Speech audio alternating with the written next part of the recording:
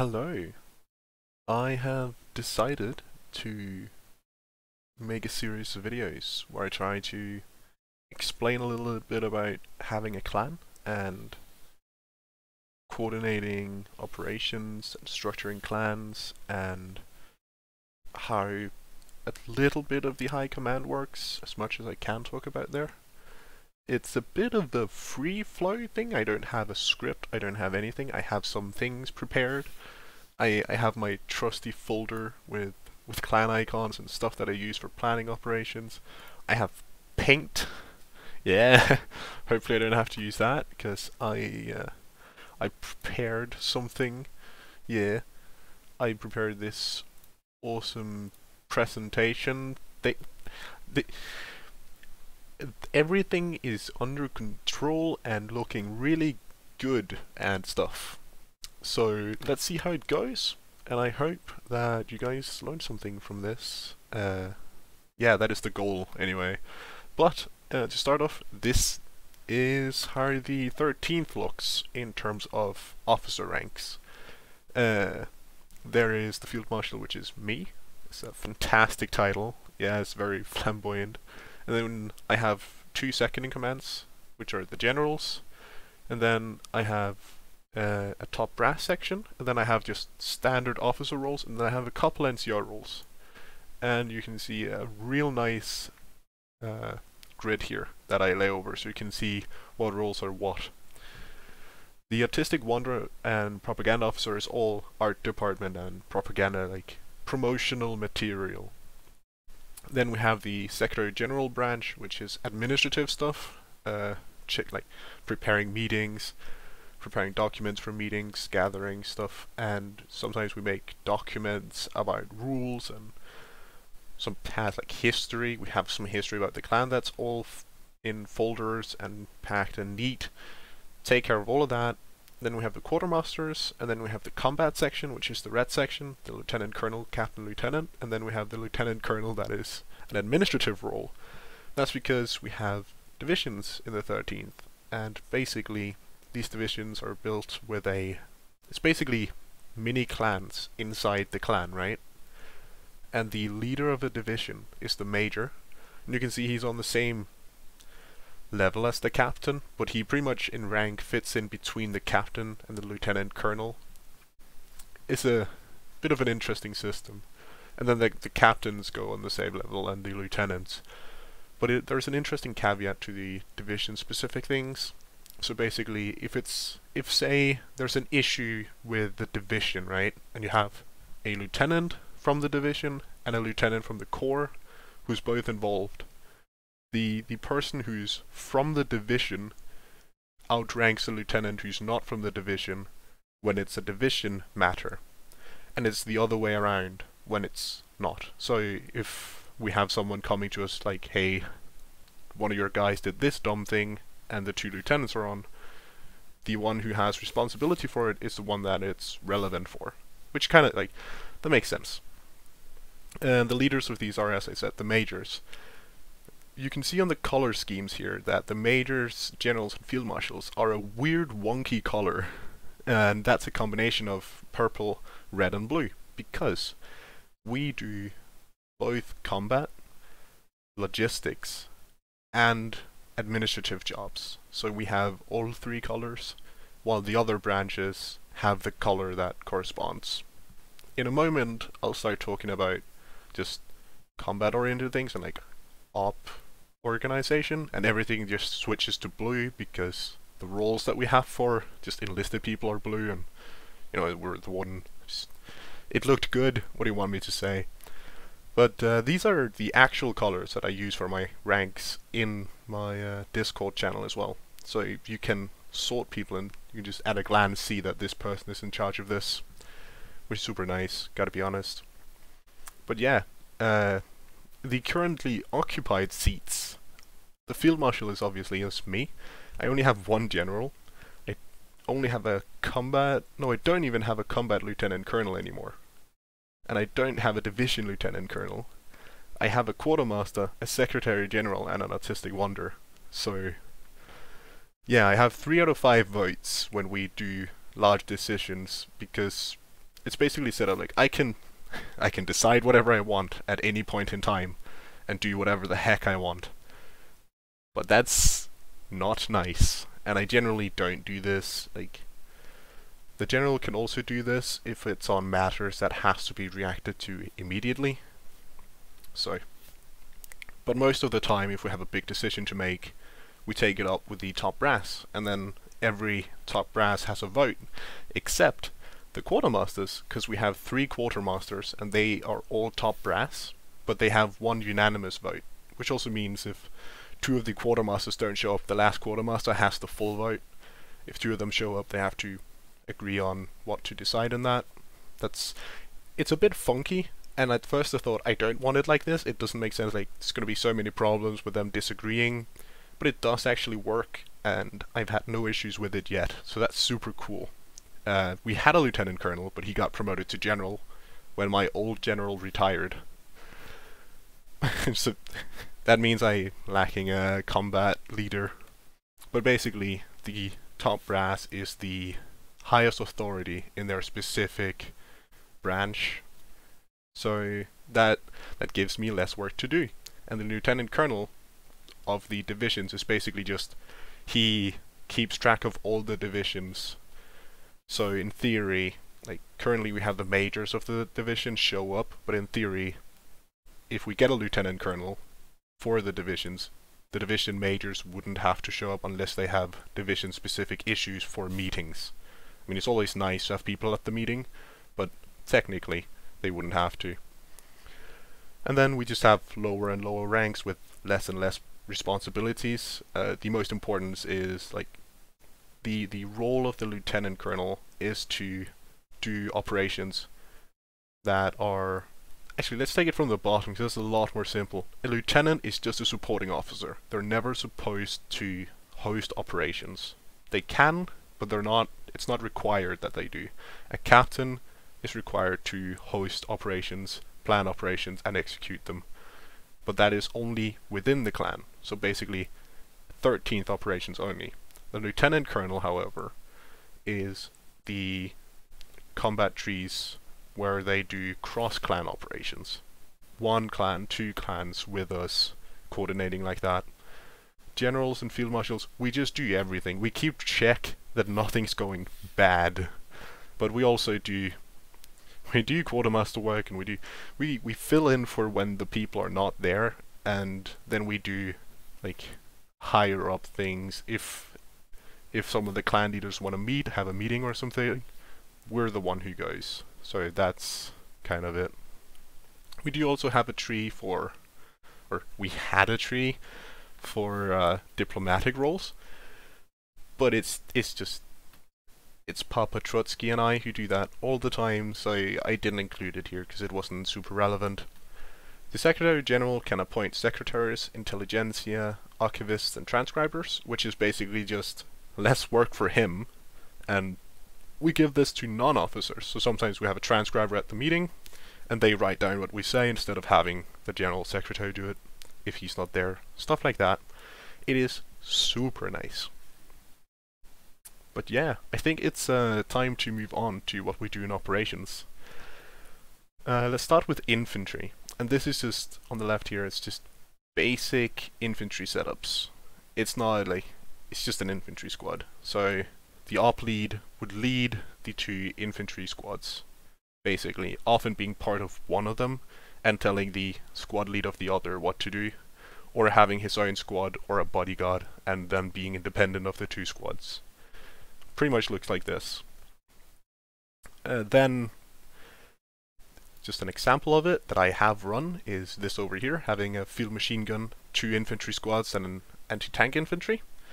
And it's basically just the operation leader gives them goals. Like a really typical one when you have a field gun is the field gun in the middle and you assign an infantry squad on each side and then you can keep the anti-tank squad as like a fluent squad that goes that you kind of move around to counter any like motorized or mechanized infantry or a counter to your field gun. So they're very fluent and most of the time the one that you move around the most basically making sure that you don't get flanked by a vehicle that are too strong to be handled by the infantry. The infantry can have integrated anti-tank, but it's super nice to have someone that you can just say, your job is go here, kill that, or hold it off. So that's the basic idea of this. But you see a lot of different iterations. Sometimes you have medical squads, because it's just better, or you, you just put all your infantry into one single, like, just put in, put an officer, and you just take like 10, 15 guys, all of them on HE rushes, or like RPG rush, then you make two people the medical squad, run with the op leader, and then you just Mammon charge, and it's super fun and it's super effective. But basically, it's just an example, but usually you have a squad lead in each, and we have some like standard loadouts for that. The others can be pretty much whatever they want. Some people like to have SMGs, some people like to have rifles. I'm not going to dictate that most of the time unless it's a very specific operation. So yeah, that's uh, that's infantry for you. If you want to take this a step further, sometimes you do operations where you have split goals or split objectives. And then you have your op lead not only having to keep track of his already established squads, but you have a secondary op lead. Say you're attacking a relic base, then you have a secondary op lead take a squad behind that to try and disrupt their logistics or any reinforcements coming in, or just basically making an encirclement. And then you have to communicate not just with the squad you already have, but to the secondary op lead about how that is going and what they need, giving you a larger strain on the leader. Next up, we have tanks. Yeah, uh, this is an example on a 3 tank squad, which is the op leader, usually in a tank, he can be on foot if he wants to, but it's really common that the tank leader goes in a tank of his own. Then he has the two tanks that he's leading. Often these will be lieutenant or like non-commissioned officer commanders. And in some cases you have a fourth gunner, so just or a fourth seat being a secondary gunner, like on the chieftain or the Silverhand, or the old BTs where you had like five guys it's fucking, I wish. Uh, and a typical, like, split that could happen for an op would be this. So you have your tank, uh, your operation leader and four tanks. I've been in this exact situation before and I ended up doing this with the tanks. So I, I split them up and took the op lead and another tank. And then I made a secondary op lead, or uh, yeah, secondary commander take command of the line tanks, basically and then you could use those two tanks to flank and stuff like that. But then again, the leader of this second squad has to communicate with you, making more strain, but it can be super, super effective if you use it correctly. Especially now that we have the new cruiser tanks, it would be super, super, uh,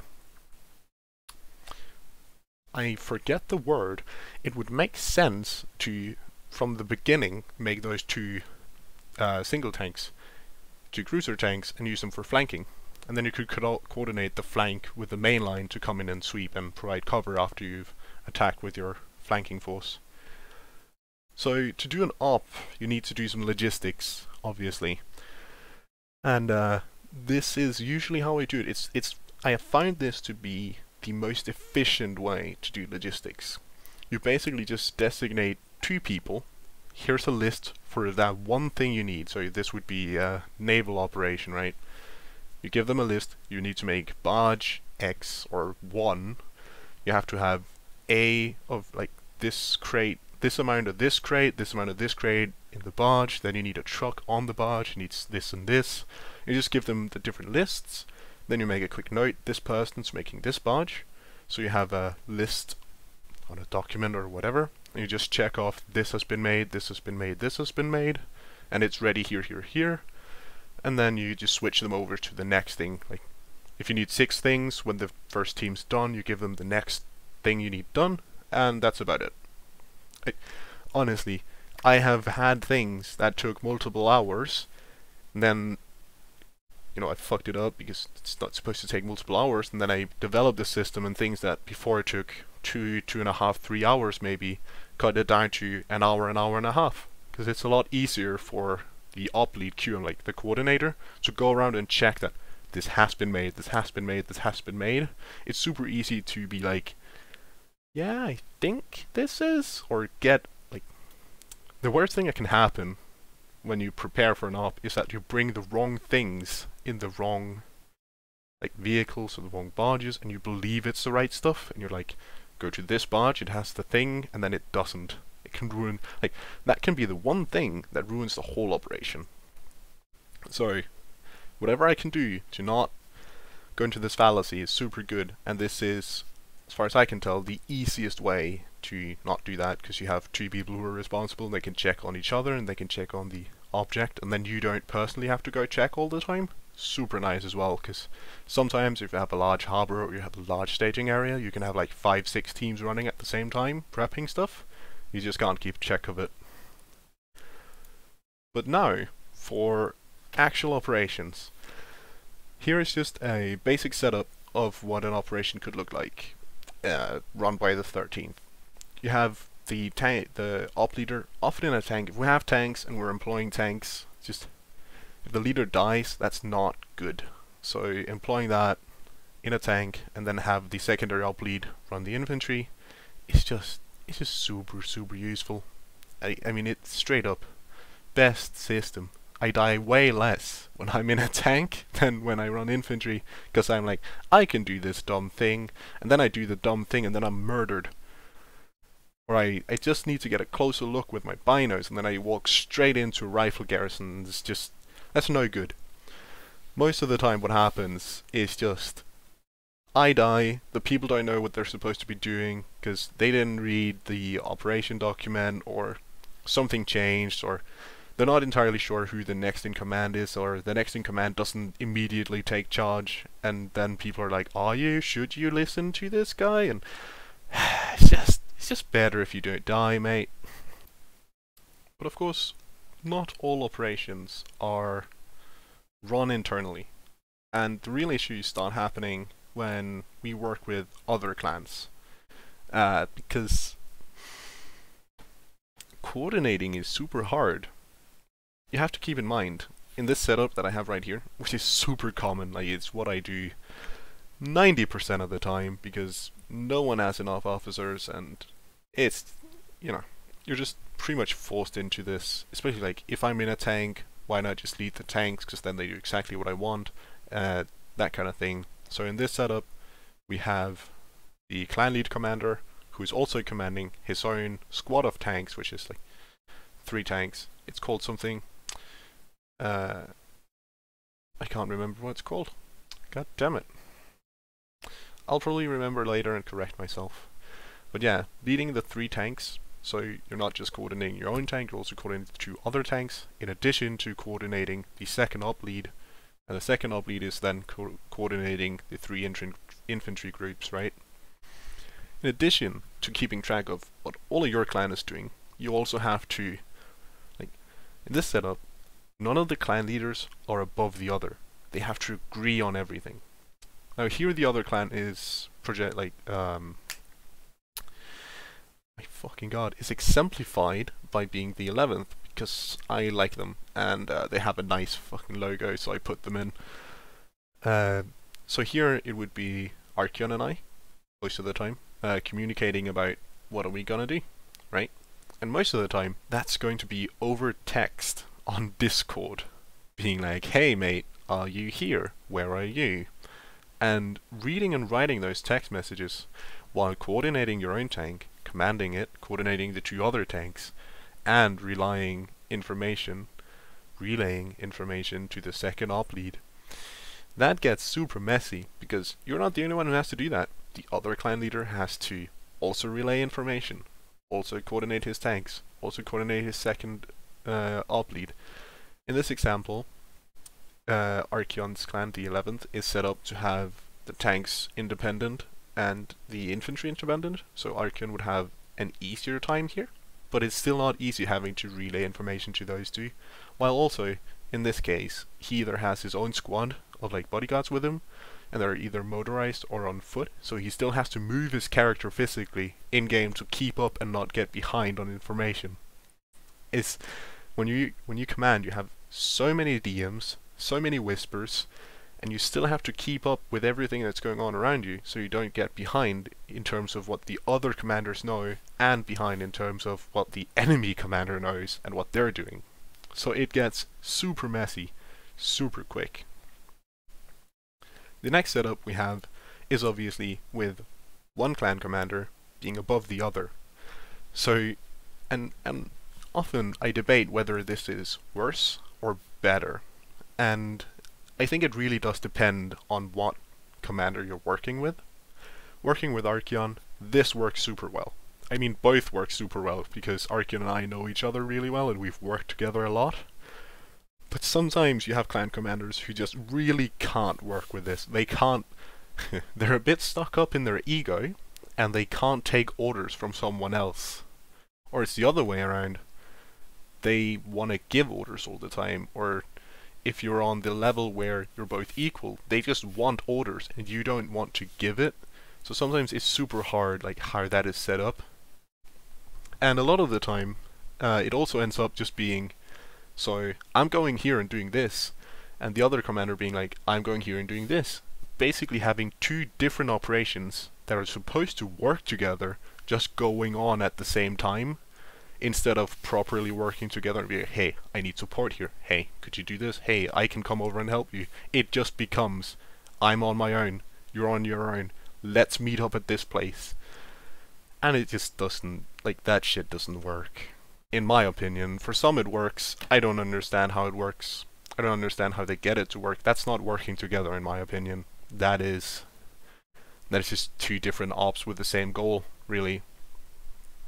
But this can work super well, because one person, especially if you detach, if the, the operation leader then detaches himself from being the clan leader, it gives him a lot more flexibility and a lot information is a lot more accessible to him regarding the battlefield, so that is super nice. But if you still have to command your clan and give orders to the other clan, it becomes a lot to handle. Here we have the extreme of this, and uh, yeah, I have been here. This is this is fun. It's very fun. Um, this example is not the best because the one thing, the one time I did this, I did detach myself from my own tanks and just were in my own tank. But having four, five different people that you have to communicate to while doing your own tank and also the random people around you sometimes you need to pick those specifically and not communicate it to the other leaders. You have to be you basically have four or five ongoing conversations with different people at the same time. And uh, it's very easy to get information messed up or become confused as to what is going on when and can I rely on these people to actually do the thing that I'm asking them to? Or will they just go off and do their own thing? Because sometimes you give orders to a person who's like, but you're not my clan leader, so why should I do what you say? And that's problems you'll always encounter. But uh, the weirdest thing, and I think the one thing that to take away from this is, there's usually not an operation like in operations it's super easy to have an operation leader right? But a lot of the time especially when planning these things we're all there's no like there's no war leader. It's all like on a council basis where everyone has the same to like allowance to say like everyone's word is worth the same. Or like you always have some where they're more respected and stuff like that but you don't have a person who's like my word goes or we're doing this or I mean heck sometimes we don't even have anyone to give the conversation a direction and we just spin off and talk about something completely different that's not relevant in any amount. So that's wonderfully lovely uh, but you're also a tremendous force if you get this to work. But I think I think that's uh, probably forgot to say a lot of the stuff that I wanted to say. Uh, yeah. But uh, thank you for listening to, to part one of my explanations. If you have any questions or said anything in a weird way that you didn't understand, just throw a comment. I'll, I'll answer it if it's something sensible. Uh, yeah, and uh, to give a quick shout out to the people that I have representing other clans. We have Krieg to the left, we have Blue Rose, BR, in the middle, then we have my own clan, the 13th, and then we have 11 year CFL. And I am so grateful to all of these clans, because it's all clans that I've actually worked with. And, uh, yeah, they're, they're good people. I like them. If you ever play Foxhole, and you don't want to join the 13th for whatever reason, or speak French, join the French, or these clans, BR does a lot of tanks, super nice people, Krieg, I've only seen them in tanks, but I'm pretty sure Domi said they, they do a bunch of other cool stuff. Regardless, all the leaders are super charismatic and super super nice people, so it's going to be a blast if you join any of them. I think that is all from me for today, and I wish you a very good day, guys.